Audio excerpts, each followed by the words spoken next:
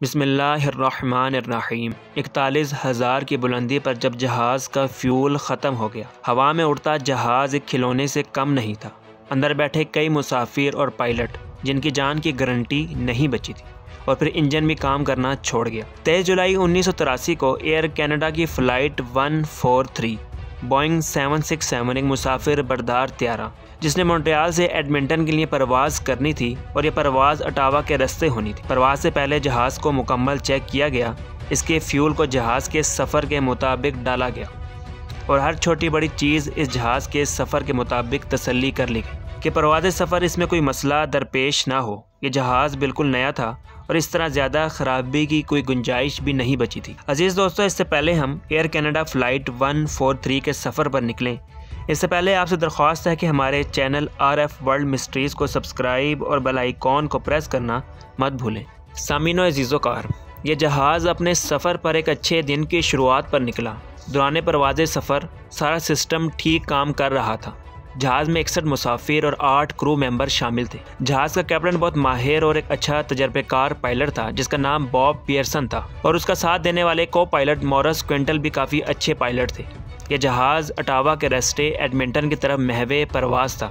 इकतालीस हज़ार की बुलंदी पर जहाज़ के तमाम मुसाफिर सफ़र को इंतहाई पुरसकून तरीके से कर रहे थे और यह जहाज़ बहुत आराम से आसमान में अपनी मंजिल की तरफ़ रवान था। यह अचानक जहाज़ के सिस्टम ने पायलट को वार्निंग जारी की कि जहाज़ के टैंक में फ्यूल ख़त्म हो गया है। लेकिन ये एक आम बात थी, क्योंकि जहाज़ के एक टैंक में फ्यूल ख़त्म हो भी जाए तो जहाज़ का दूसरा टैंक होता है। जहाज़ का फ्यूल जहाज़ के दोनों विंग साइड में होता है एक ख़त्म होने की सूरत में दूसरा इस्तेमाल में लाया जाता है। लेकिन कुछ ही देर में जहाज़ ने दूसरी वार्निंग जारी की कि जहाज़ के दूसरे फ्यूल टैंक में भी फ्यूल ख़त्म हो चुका है। ये बात काफ़ी परेशान कन थी। एयरपोर्ट में कैप्टन बॉब पियर्सन ने इंजीनियर्स को मुकम्मल जहाज़ और फ्यूल को चेक करने का कहा था और इंजीनियर्स ने इसको मुकम्मल कैलकुलेट भी किया और मुतमिन होने के बाद उड़ने की इजाज़त भी दे दी। अंदाजे के मुताबिक जहाज़ में पैंतालीस हज़ार पाउंड फ्यूल मौजूद है, जबकि ये इनकी सबसे बड़ी गलती थी। हकीकता जहाज़ में 2000 पाउंड मौजूद था, जो कि आधा भी नहीं था। हुआ कुछ यूँ कि फ्यूल की पमाइश के निज़ाम पर मुबनी कुछ गलतियाँ थीं और ये गलती पायलट और इंजीनियर से कैसे सरजद हुई कि ये फ्यूल को प्रॉपर कैलकुलेट नहीं कर सके। कनाडा अपने फ्यूल कैलकुलेशन में इन दिनों कुछ तब्दीलियाँ कर रहा था, जिसमें फ्यूल को पाउंड और किलो में एडजस्ट करना था और पाउंड की जगह किलो को सिस्टम का हिस्सा बना दिया गया। ये कैलकुलेशन जहाज़ के कंप्यूटर खुद करते हैं लेकिन इस जहाज़ के फ्यूल कंप्यूटर सिस्टम में प्रॉब्लम होने की वजह से ये काम इंजीनियर्स को करना था और उन्हें ये बात याद ही ना रही और उन्होंने फ्यूल को किलो के बजाय पाउंड में कैलकुलेट किया। सामिनो जीजो कार एक पाउंड तकरीबन आधा किलो बनता है और इस गलती ने जहाज़ का फ्यूल पूरे के बजाय आधा, भरा और कैलकुलेट पूरा किया गया। दोस्तों, जहाज़ ने वार्निंग जारी कर दी थी कि दोनों फ्यूल टैंक मुकम्मल तौर पर खाली हो चुके हैं। फ्यूल को मद्देनज़र रखते हुए दोनों पायलट ने हंगामी लैंडिंग करने पर इतफाक़ किया। कैप्टन बॉब पियर्सन ने एयर कंट्रोल को अपनी सूरत हाल की इतला दी और हंगामी लैंडिंग के लिए रास्ता बनाने पर ज़ोर दिया। कुछ देर बाद जहाज़ का बाई इंजन बंद हो गया। पायलट्स ने एक इंजन पर उतरने के लिए कमर बस्ता हुए। पायलट बॉब पियर्सन ने फ़्लाइट सेमिलेटर्स पर तरबियत हासिल की थी और वह हंगामी सूरत हाल के लिए काफ़ी तैयार थे। लेकिन कुछ मिनट बाद दूसरा इंजन भी नाकाम हो गया और कॉकपिट में मुकम्मल अंधेरा हो गया।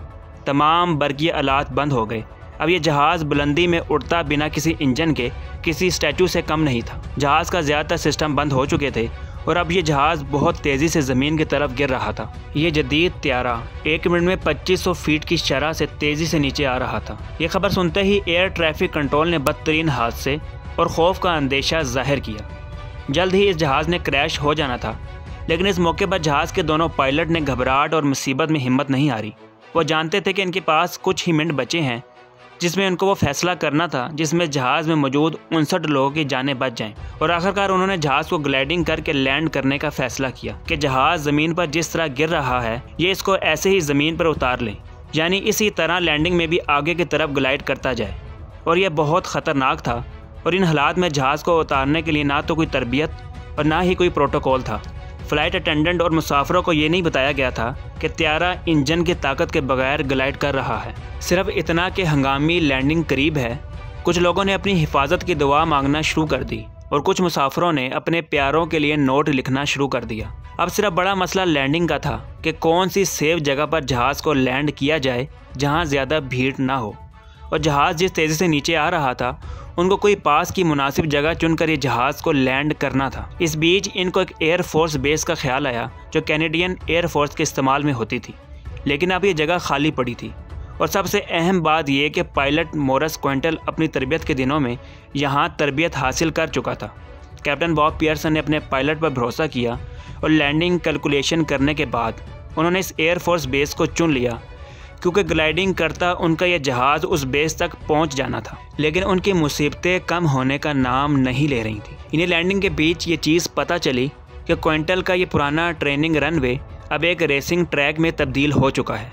और यहाँ इस जगह पर कई अफराद मौजूद थे। दोस्तों, इन लोगों को भी जहाज़ के नीचे आने का काफ़ी देर बाद पता लगा। क्योंकि जहाज़ के इंजन बंद होने की वजह से इंजन की आवाज़ ने लोगों को अपनी तरफ़ मतवजा नहीं किया।